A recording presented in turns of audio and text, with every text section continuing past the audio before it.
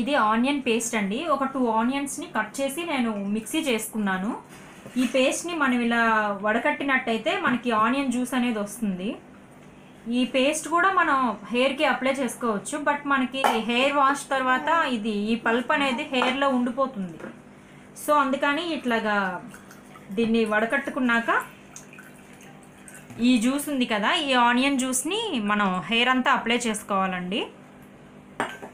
జ్యూస్ని మనం హెయిర్ అనేది ఇట్లాగా పాయిల్ లాగా తీసి ఇలా రాసుకుంటా ఉండాలండి. మొత్తం హెయిర్ అంతా మనం అప్లై చేసుకోవాలి ఇలా.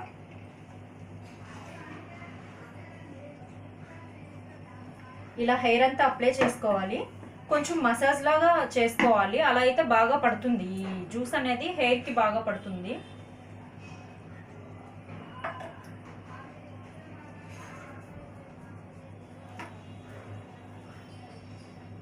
మీరు ఏదైనా మాస్క్ వేసుకునే ముందు ఆయిల్ అనేది బాగా అప్లై చేసుకోవాలండి హెయిర్కి లేదంటే హెయిర్ కొంచెం రఫ్గా అయిపోతుంది.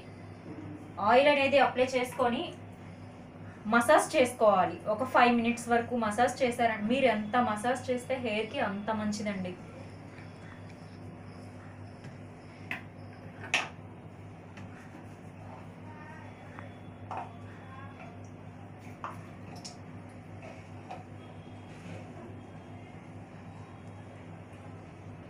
నేను ఆయిల్ అనేది ఎలా చేసుకోవాలో నేను వేరే వీడియోలో మీకు షేర్ చేస్తానండి. అది చూడండి.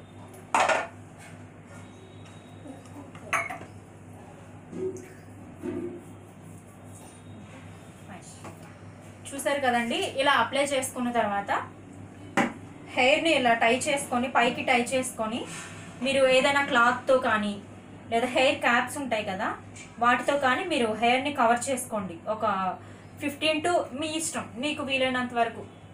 ఒక వన్ అవర్ అయినా సరే హాఫ్ అన్ అవర్ అయినా సరే మీకు ఎంత టైం అయితే కుదురుతుందో అంత టైం వరకు కవర్ చేసి ఉంచుకోండి.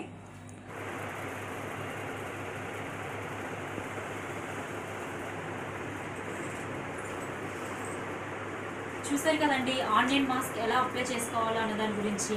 ఈ వీడియో మీకు నచ్చినట్లయితే లైక్ చేయండి షేర్ చేయండి సబ్స్క్రైబ్ చేసుకోండి పక్కనే ఉన్న బెల్ ఐకాన్ని క్లిక్ చేయండి. ఏమైనా డౌట్స్ ఉంటే కామెంట్ చేయండి. Thank you.